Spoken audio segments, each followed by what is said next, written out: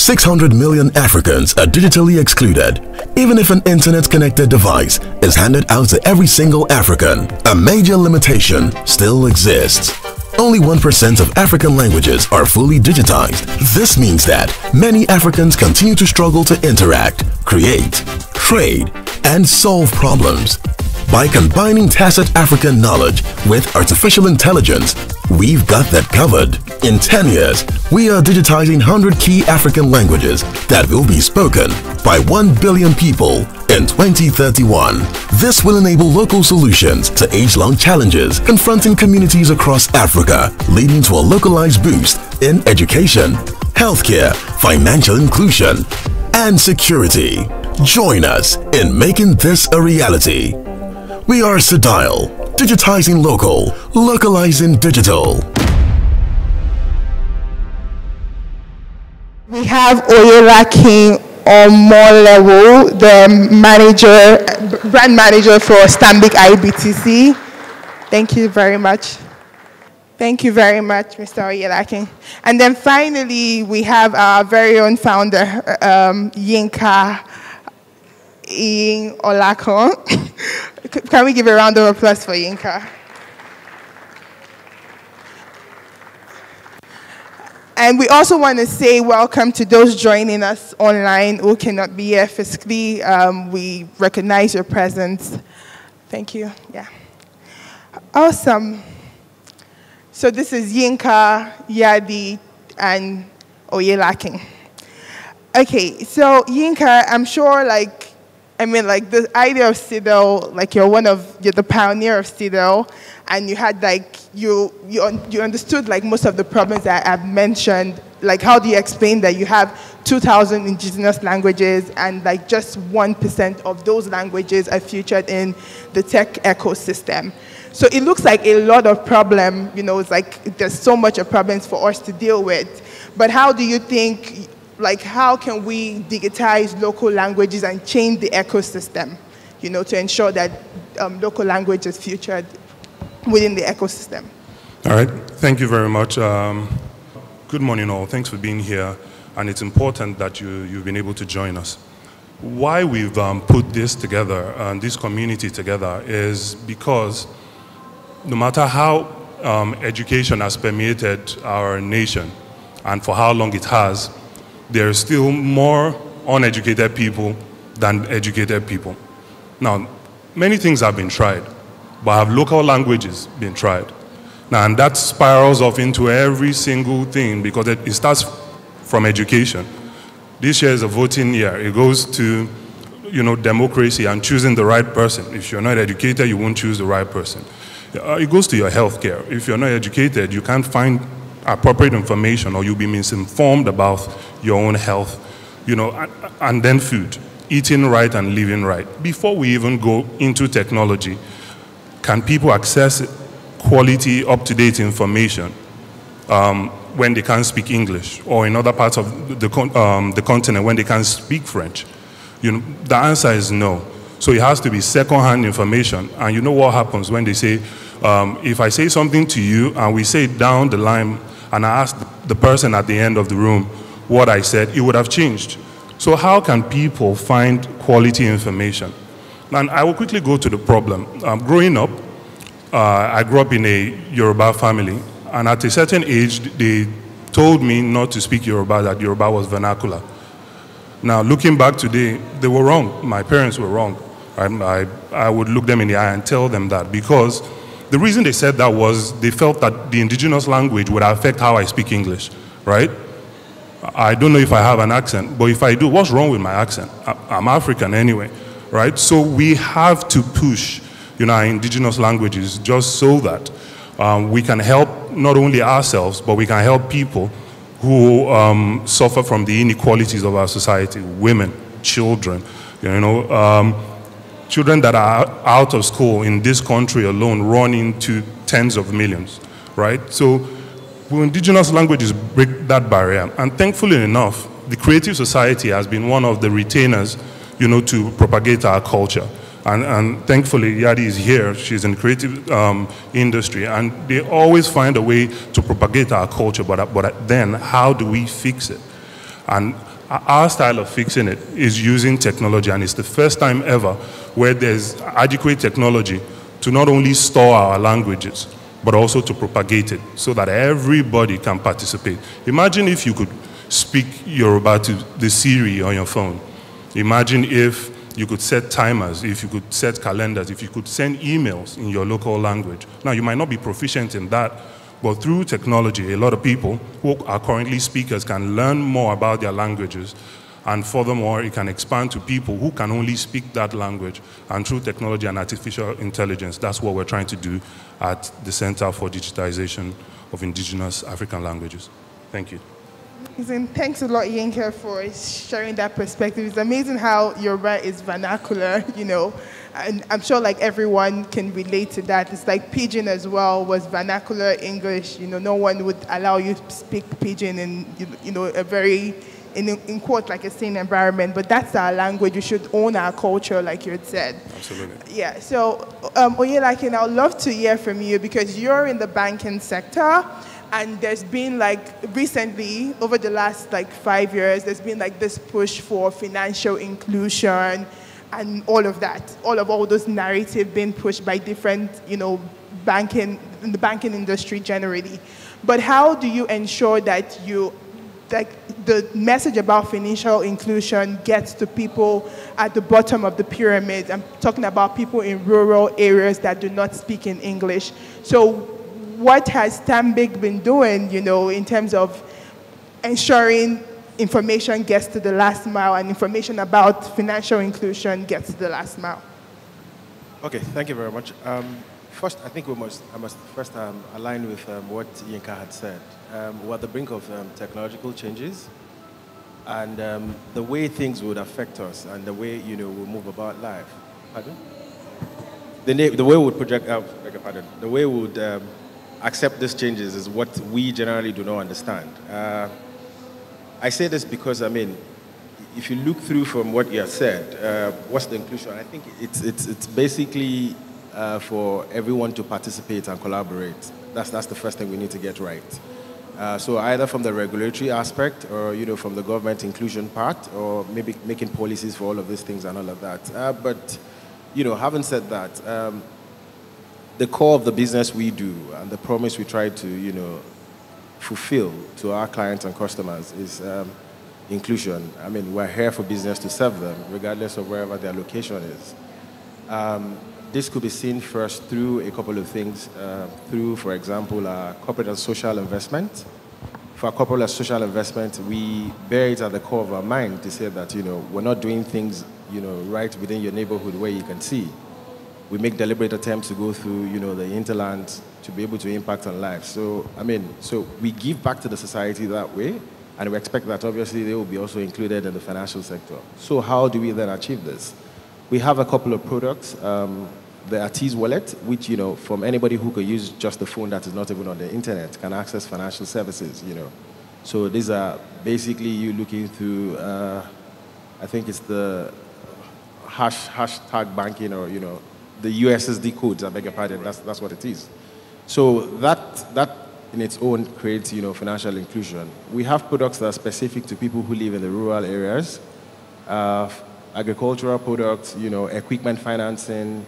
We also do the easy cash where I think you can have uncollateralized uh, loans from between 20,000 up to a maximum of about 4 million.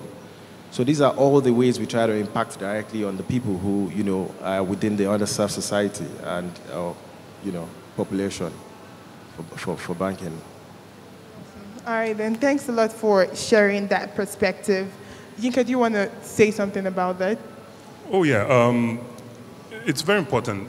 For example, uh, currently, of course, it's, it's widely known that there's no infrastructure to totally reach out to those people. So, you know, what they are doing is laudable to reach out to people, but they would need to have, I'm sure they have agents in those areas to help those people.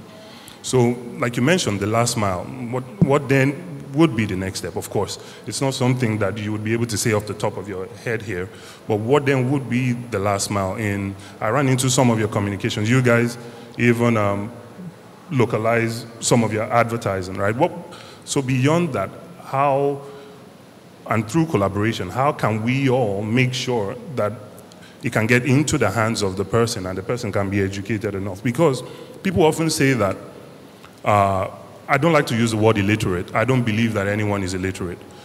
What they are is illiterate in English, but they are very literate in whatever language that they're speaking and whatever trade. If he's a fisherman, he's literate about the water. He knows when to ride the tide. He knows when not to. So no one is illiterate.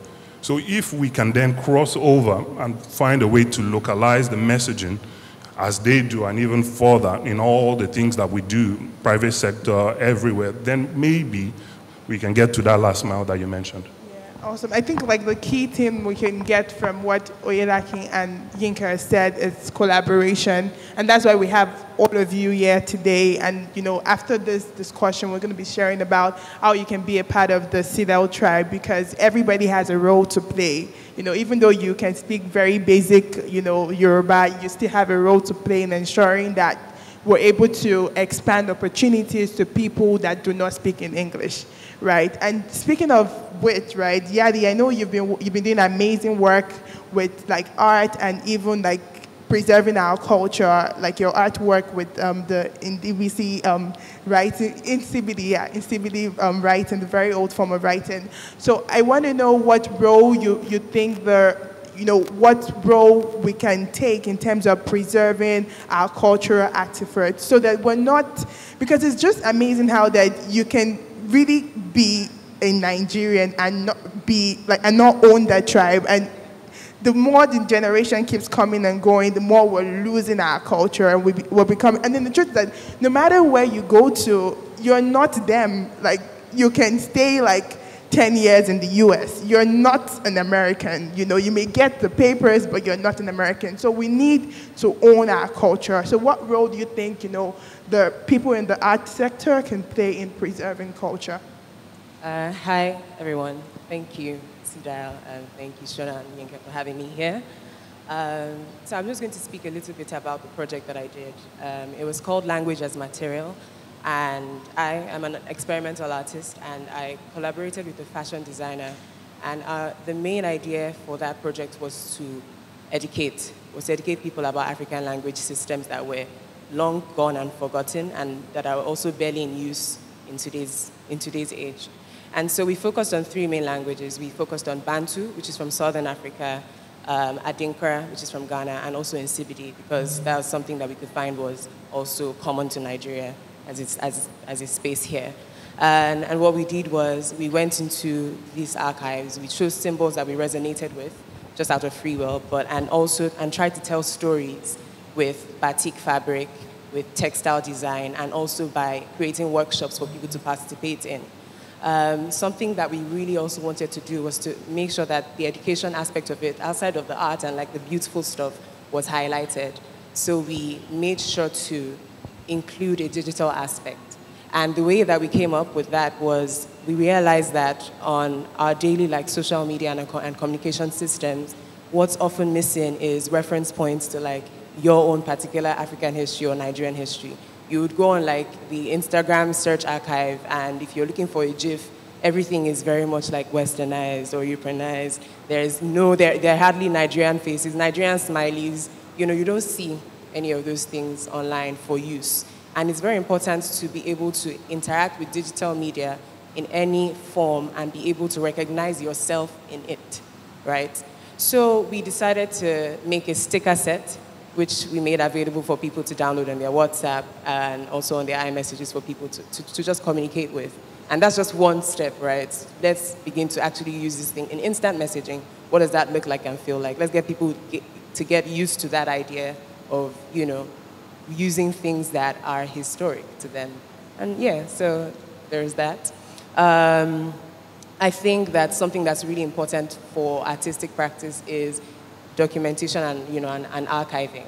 And it's a big part of just what motivates my general practice. I'm self-taught, so I've had to rely a lot on researching and trying and checking on the internet for things and checking on like digital spaces just to get information to inform my practice.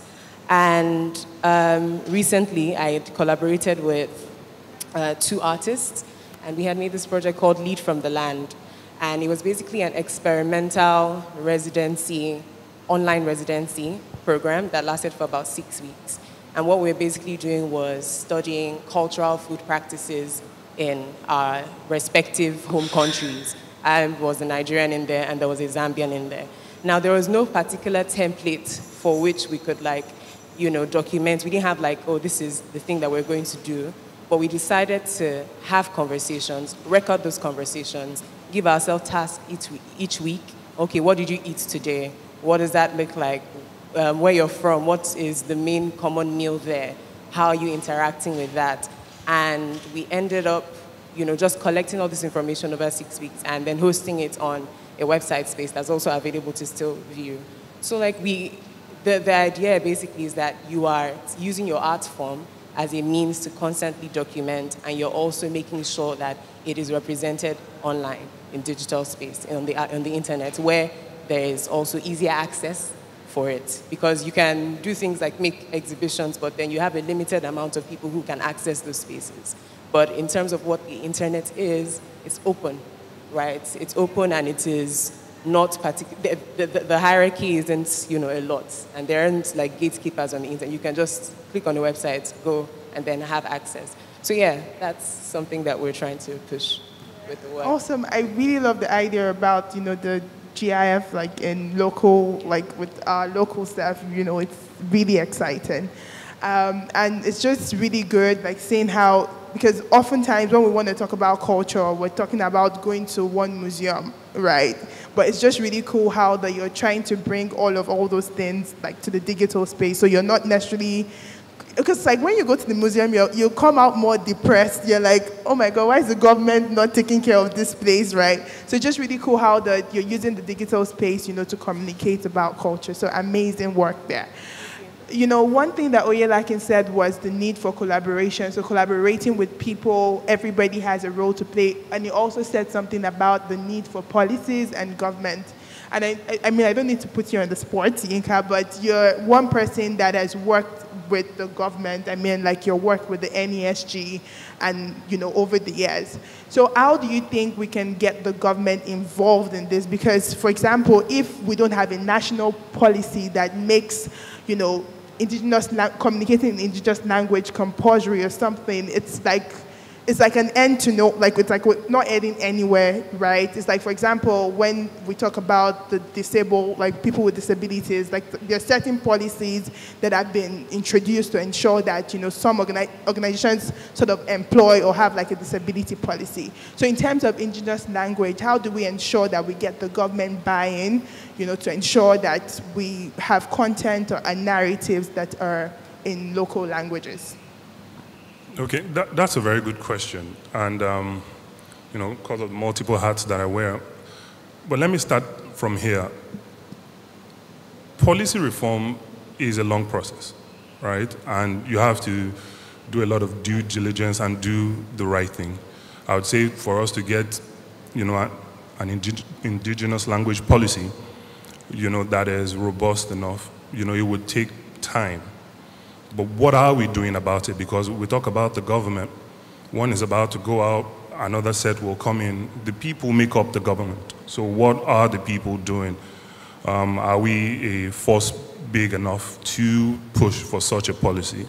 And is this institution, you know, a force that can push for that, that policy? You know, the jury is still out of, uh, on that. So how do we look at it? Do we look at it as um, half empty or half full? Uh, we have to start from here. Let me ask a question from everyone in the audience. Uh, if you speak more than one language, raise your hand. Okay, that's the bulk of the audience. I believe that every Nigerian, especially every Nigerian that lives in the urban or suburban area, speaks probably three languages, right? Maybe English or any version of it um, that you speak.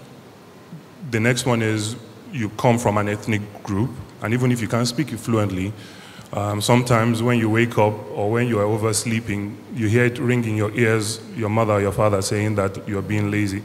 So there's a voice in your head that speaks that Urhobo or that Ijaw or whatever language. And then the third one is Pidgin. And Pidgin is very important. so for us to have an indigenous language policy, I believe that um, all the languages, whether they are original or forms of it, because if you look at Swahili, Swahili came from Arabic, right? It's a fusion of Arabic and other languages. So if you look at Pidgin, it's English and Hausa when you say Wahala, and Yoruba when you say Oga, and many, many, many other languages. So it's a fusion.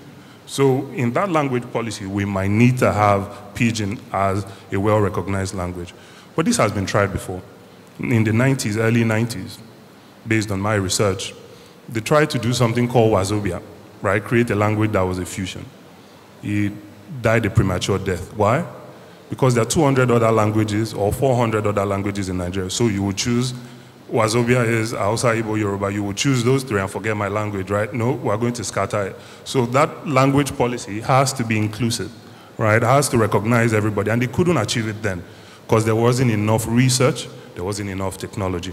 And it takes me back to what the solution can be, which is machine learning and artificial intelligence, using it to not only learn our oral language, right, which most of our languages are, only a few can be written, but also signs and semiotics, like Nsibidi, like you've mentioned. Even our hand signs. You know, Nigerian hand signs are different, right? Um, this means something, right?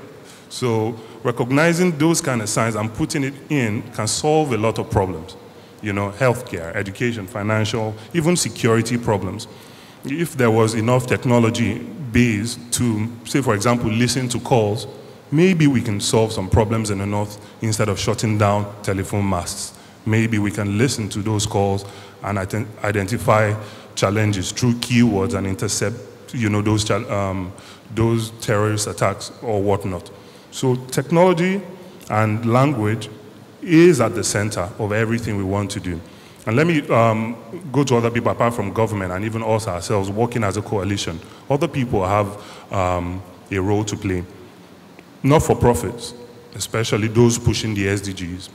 The SDGs, they're 17 in number.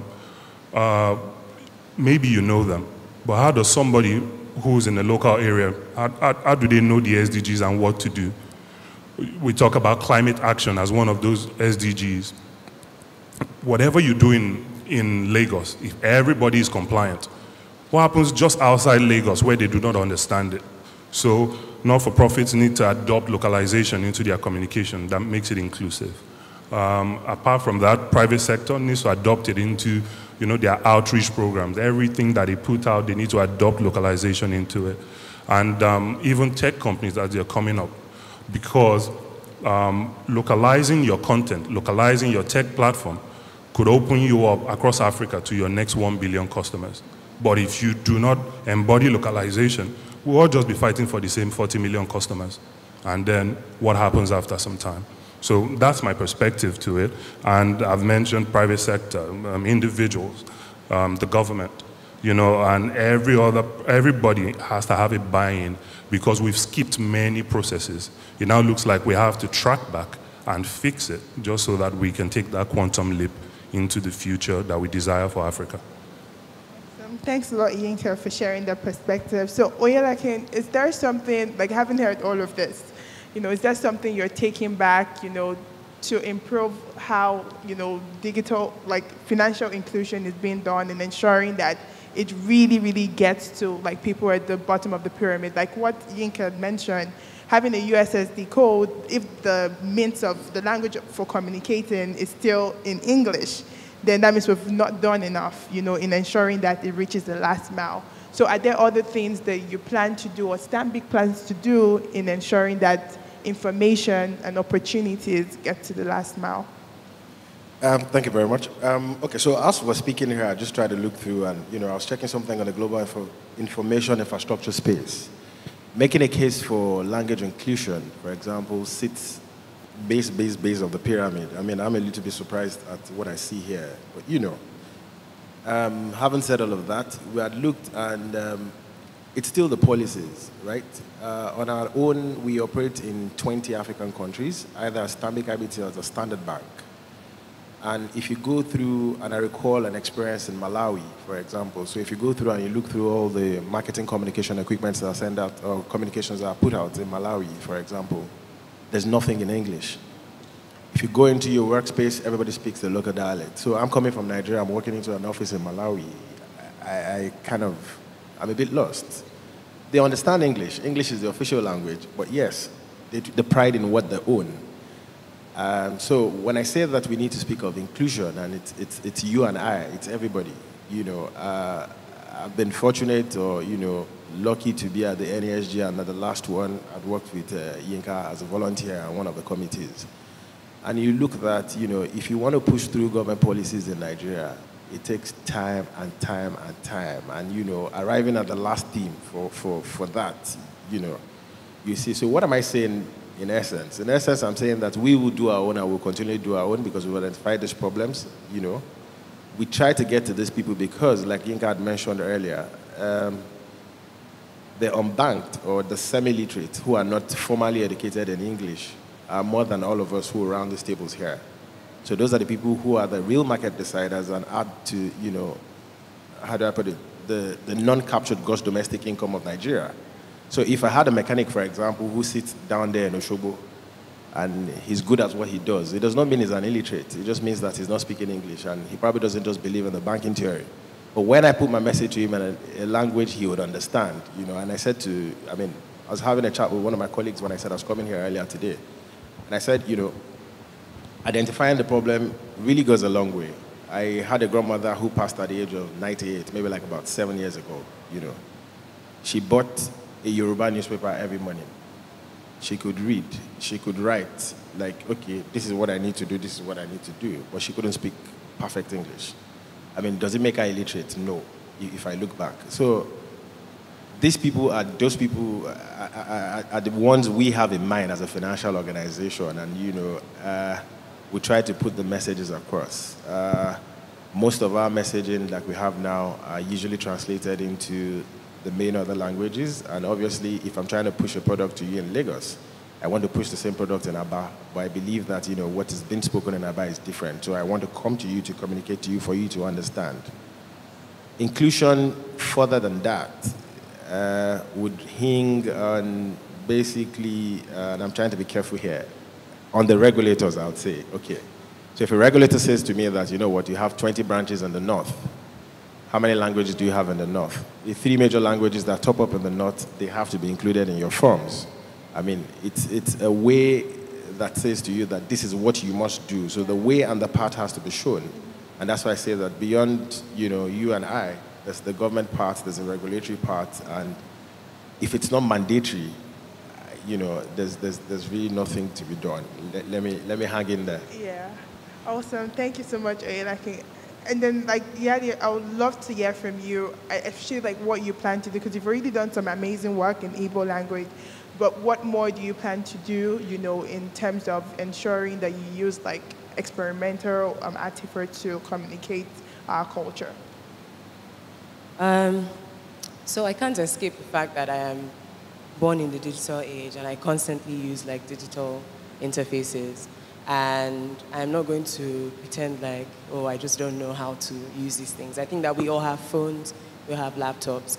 Um, we all know what websites are as well. So I keep on with my very best, making sure that whatever research I'm doing, whatever um, experience it is that I'm having, where, wherever it is that I'm going, all the travels that I'm making within Nigeria, especially to explore culture, especially for projects it is that I'm working on, I am constantly documenting, I'm constantly showing, you know, this is where this is, this is where this belongs.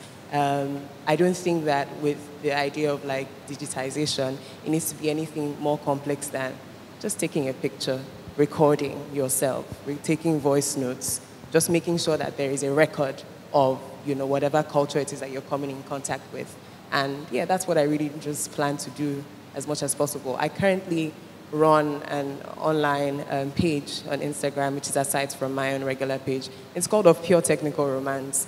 And it was born out of this idea of just relating with um, technology and digital spaces in a less than functional way and just, you know, playing around with the ideas of cropping and screenshotting and GIFs and images to make sure that, okay, me as a Nigerian creator, I'm here interacting with this space. Like I'm not lost from that conversation, but I need to have a digital exhibition with um, foreign organizations. I can participate in that conversation. So by just constantly educating myself as well. Awesome. Thanks a lot. Um, I know we're pressed for time. Yinka, do you have like any final words just before we wrap up? Okay. Um, I would like to thank, um, you know, obviously Yadi and um, Oyelakin, you know, for how, how, they've contributed to the conversation, and and that has, you know, helped me even think further. I'm sure it has enlightened you on, you know, what we can do and do better to to push this narrative. And we are doing our own part currently. Um, if you're watching us online, we have interpreted in Hausa, Igbo, and Yoruba. I'm sorry if we couldn't do your language we're hoping, right? And that's why we're hoping that um, we'll be able to create a community, what we like to call a tribe, where everyone here, everyone listening to us digitally can join in and together we can digitize our local languages just so that we can localize digital access, right? Just so that when anybody is listening to whatever speech, whatever campaign, you know, they will be able to get the information in local languages. And the, the, impact will be amazing because think about it people getting the information live and direct, and then they will become more inquisitive and think about more things, and um, will be able to embody this movement and they'll become advocates. So we're asking you to join us. So, what's the call to action? What's the outcome from this conversation that we're trying to have? We're, trying, we're asking you to join us. We can't do it all by ourselves no matter how fast the machine is, no matter if we use the biggest supercomputer in the world, right? Somebody still has to teach it the language. And it's not written down in many books. There aren't many books. It's in your mind, right? It's in your head. It's in what you've learned all the years of your life. So join us. Um, we, have got um, a link. We'll have the link up there. Um, go to our website, cdil.co slash tribe, and sign up. Choose the languages that you love, even if you can't speak them right? Some other people will train the machine to learn the languages, and then you would be able to learn from it. And we have a good point system, recognizing every contribution that you have towards the program. So please join us, and um, we hope that together we would be able to take Africa into a better place than we met it. Thank you. All right, thank you. So questions? Okay, so that's one there. Any other question? We can, there's two we can take three. Any other person? Okay, so one and two. Thank you very much.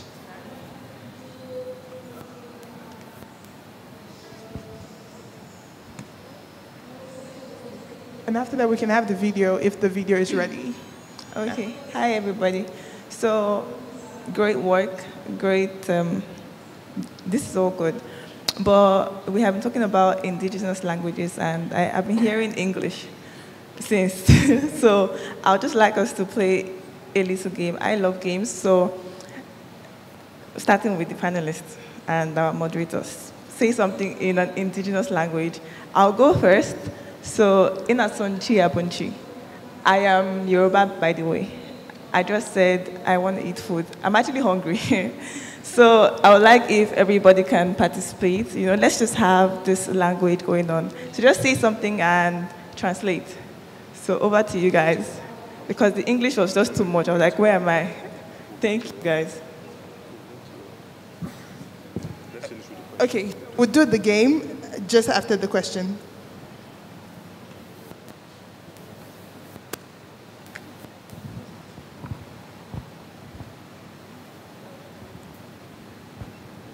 Good afternoon. Thank you, panelists. Um, great ideas. And I'm excited, especially um, at the fact that you're trying to um, digitize the local languages. But what comes to mind? Plenty questions. But because of time, I'll just narrow it down to three. First, to CDIAL.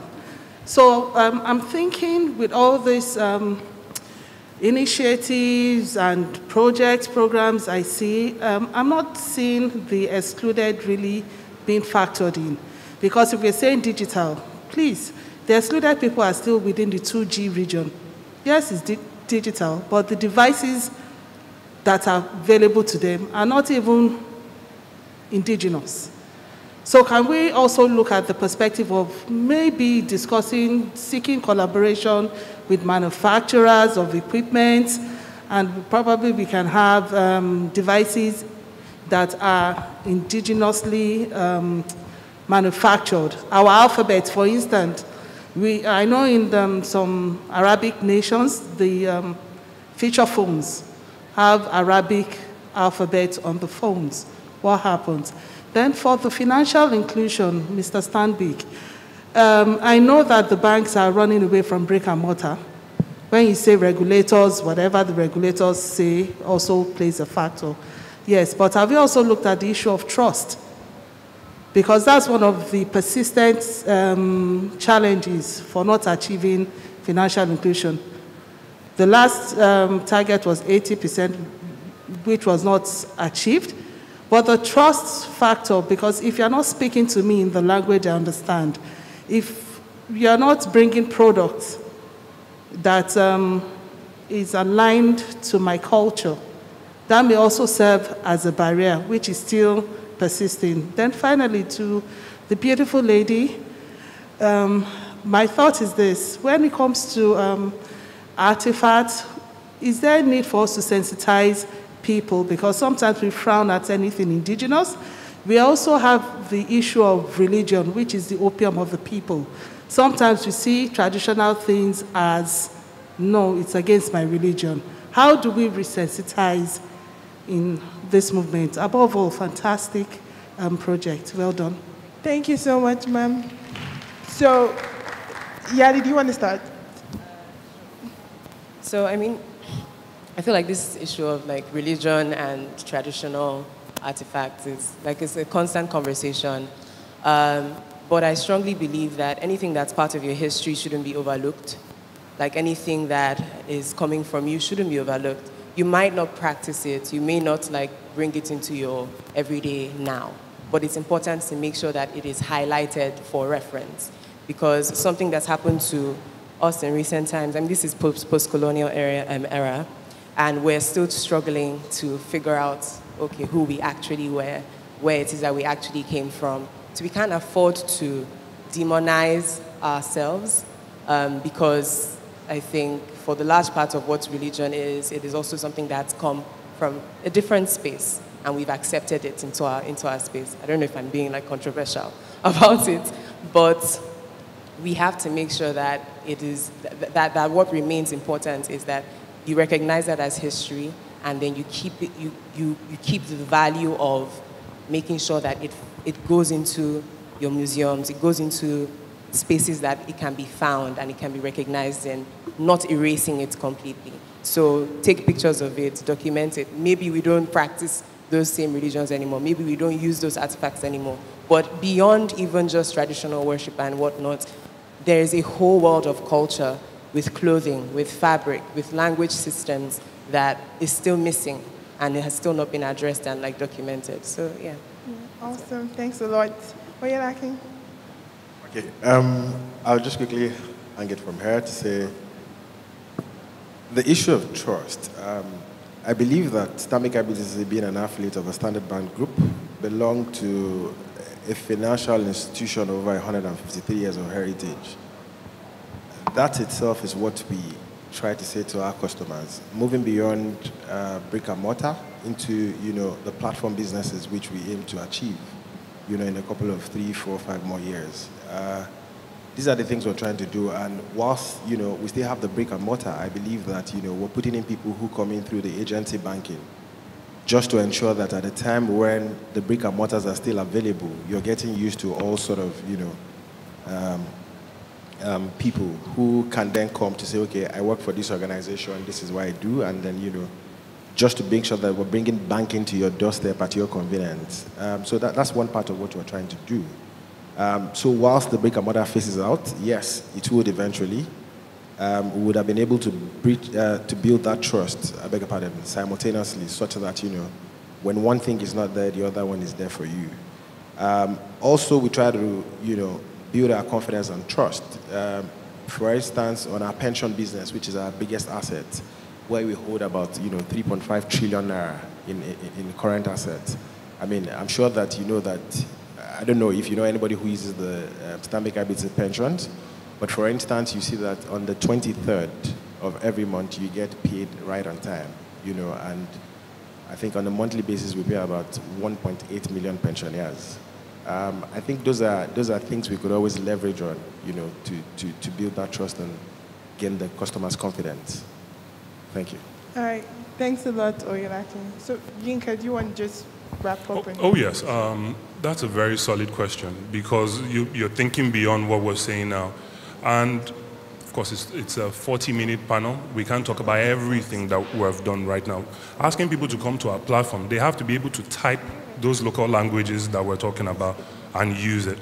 And in our studio, in our, in our studio, our lab, whatever you call it, we have developed keyboards in five of those languages that you mentioned.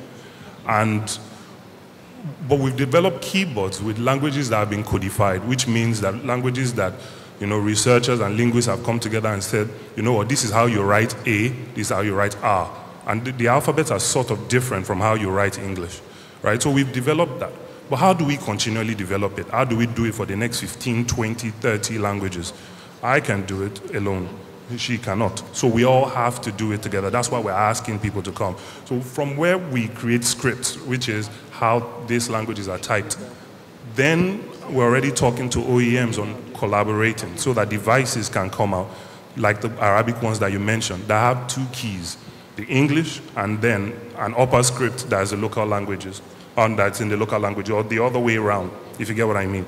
So I'm not sure anyone has seen any, um, that Arabic keyboard before. You can see the Roman English script, and then you can see the Arabic script. So we're working on something, right? And as if you are part of our community, you will constantly get updates on this software and products, right, coming out, accessible to everybody, just so that we aren't blocking access with asking people to pay, but everybody can get access to it and they can use it to further build the languages, store it, and then amplify it um, for progress in the community. Thank you. Okay, so finally, before I allow um, this amazing panelist to go back to their seat and before we take the picture, so one, say something in a language outside of English and translate it. Just one sentence, starting from Oyelakin. Ekaro. Um, Not Ekaro. No, no. okay, you're, you're just starting. Yeah. a dúpẹ́ lọ́pọ̀lọpọ̀ tí gbogbo yín wá síbi tí a jókòó sí lónìí fún ọ̀rọ̀ tí a wá sọ níbí báyìí a dúpẹ́ lọ́wọ́ yín yẹ wá. What does that mean? Okay, so it means I'm just saying thank you to everybody. I greeted first and I said thank you for everyone who came here to sit to listen to this panel session today. Okay, thank you. Yadi? Uh, uh, okay, I'll keep it simple. I am Buyadi Chima Ukohankalo. I am only Abia State on Hafia. And I'll leave it at that. What does that mean? My name is Yadi Chima Ukohankalo. I am from Abia State on Hafia. Okay. Yinka, Yinka, don't sell us. I won't do that. I will push the language that I, um, that I think includes everybody. So how nadi? Ude. Uh, I thank Una for say Una come here, Una come follow us talk, and uh, I want make Una go on that website, the Domot on that website. Make Una follow us, they talk. Make Una follow us, they interact, and then together we go reduce the wahala for this we country, and we go build we country and we continent to take greater heights. Thank you very much. Awesome, amazing. So I'll just say Eshe, you know, thank you very much. Uh, we, yeah. and now good day. Digital interaction seems a long way out, but together, Africa will take this quantum leap. Join our community today. We are CDIAL. The journey to localized digital interaction seems a long way out, but together, Africa will take this quantum leap. Join our community today. We are CDIAL, digitizing local, localizing digital.